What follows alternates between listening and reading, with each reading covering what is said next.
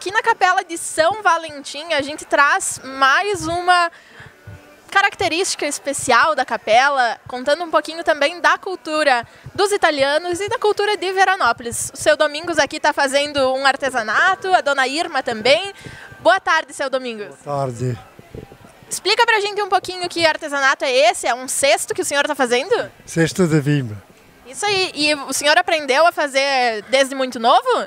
Com, quando eu tinha 18, 19 anos, é o meu pai que me ensinou a fazer isso aí.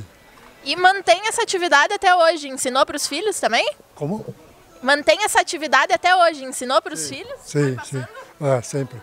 Isso aí. E a dona Irma aqui está fazendo uma dreça, é isso, dona Irma? Ou trança, como quer, né? Uma, uma trança, uma dreça que vai dar origem a que tipo de artesanato?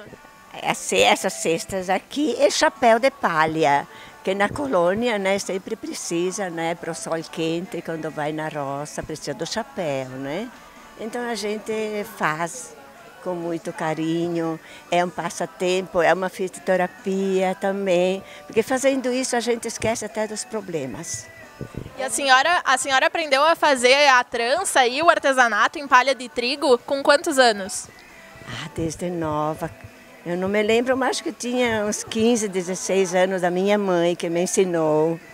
Sim, muito bom. E foi sendo uma atividade mantida por toda a família, então? Sim, sim, isso ali todas as minhas irmãs faziam. Sim, é muito bom.